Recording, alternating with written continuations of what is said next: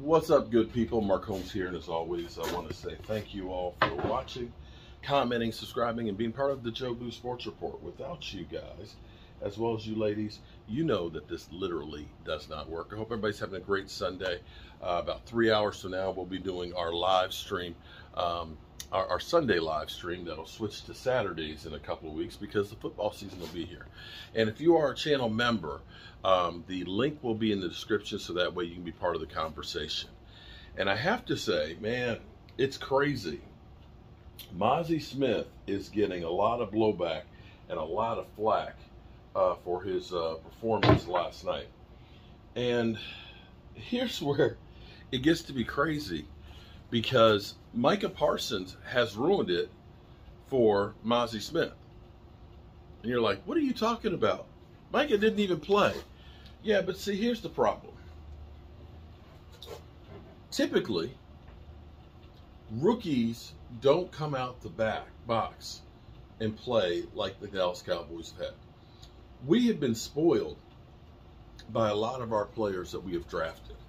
You think about CeeDee Lamb came out, you know, boom, you know, he played really well, but it wasn't just CeeDee Lamb. See, here's the difference between, say, Cowboys first rounders versus the other teams the Cowboys haven't ever really been ass ass where their first round pick is picked to be a savior.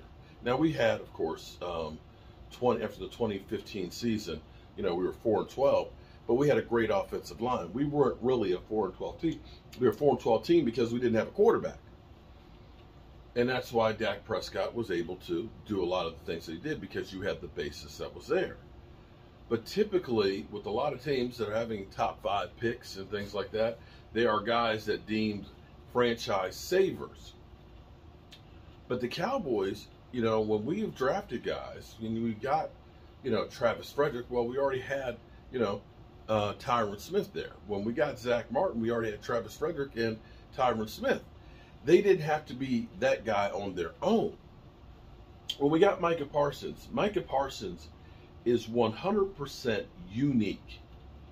There aren't players out there like Micah Parsons. That's just a fact. You're not going to find many players that can do what he did right off the bat. It's few and far between. But see, we have gotten literally spoiled because we've seen what CeeDee Lamb has done. We've seen what Micah Parsons has done. And we expect that from everybody. But the reality is, is going from college football, where you finish up the college season and then you're training everything for the combine. And once you do the combine, you're doing all these pro visits and everything. And as soon as you're drafted, you're then thrown into the NFL and you have all of 11 practices. We expect these guys to come out and be Hall of Famers week one. And that's not the reality of where these guys are. Oh. Let me give you an example. Because, see, again, Micah Parsons, even Micah Parsons' rookie year, he got better as the season went on. But let's take uh, Michael Gallup. Michael Gallup's rookie season, it wasn't until the Washington game, October 21st, that he had three catches. In fact, that was the first game that he actually got a touchdown. Every other game before that, he had basically one catch, and I think he had one game with two catches in it. But that game, three catches, 81 yards, TD. After that time, his numbers started getting better and more consistently better as the season went on. Because as a rookie, your eyes are wide open. The things that you did in college, where you may have been one of the top dogs out there, now everybody's good. On top of that, you take Mazi Smith, who's been a one technique guy, coming into Dan Quinn's system. Dan Quinn is going to use you in a multitude of ways. You have to understand when you play for Dan Quinn with this defense that he's doing with the Cowboys, you have to be a gadget guy. We hear about D Law, defensive end, maybe playing some tackle. You know, Micah Parsons may play eight positions. We have safeties that are really heavy linebackers, excuse me, light linebackers in the heavy nickel situation. And so with Mazi Smith, he's not only playing the one technique, he's also playing the three technique. And you're like, big deal. You're a defensive lineman. All you do is just hit the guys in front of you. It's not that simple. As a one technique guy, you are there literally hand to hand combat every play. You're this close to the center. You're getting hit by the center and the guard. Now you're playing three technique. You're sliding out. Now you're playing on the guard. You're a little further away from the guard. And all these things matter. And so now you're thinking about what you have to do. And see, in football, here's the thing with football you can't think, it has to be reaction. And everything Mazi Smith has been doing has been reaction to this close contact.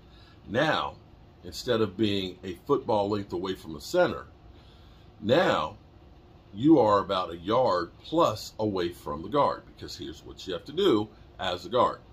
Guards are not up on the line of scrimmage the same way a center is. Your ear hole has to be where the belt buckle is, which is about a yard off the ball. So now the difference is I've got a step before I can engage. And if you're used to having that step and immediately you've got contact, now your body position is different. You may get you may rise up. And so you now instead of having that ball right there where you instantly see it, now you got to look inside to find the ball. These things make a difference and why I'm not worried about Mazi Smith. And the good thing for the Cowboys is, here's the good news for the Cowboys. Mazi Smith has Hankins there. He's got Quinton Bohanna there. He is going to be an additional piece. It's not going to be that he's thrown to the wolves and it's sink or swim, and we are going to sink or swim with him as he goes. And if you haven't looked at just Jalen Tolbert, for example, somebody who has been written off after last year, who was completely lost out there. I can't guarantee you he's going to be great, but you're seeing a lot better this year than you did last year. It may not be what you want, where you expect him to come out and be Reggie White week one. But as the season goes on and as he gets used to playing, as he gets used to working with these guys, he will get better and better. And I'm not sold on him already being a bust like a lot of people. Leave Mazi alone. He's going to be okay. I promise you, he's going to be okay. Whew, man. The things that we worry about as Cowboy fans, I don't know how you literally take a guy in two preseason games playing with backups that he's now a bust. Come on, people. Come on. Give the man time. Don't put all this pressure on his back. Let him grow. Let him grow. Mm. It's nice actually being here in my workshop today. Look at this. Mm. That isn't a piece of beauty from the red brick house. This is going to become part of the cabinet doors. I love some wood.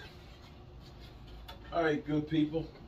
I'll see you guys at 5 o'clock Eastern. If you're out in Cali, be safe. Peace.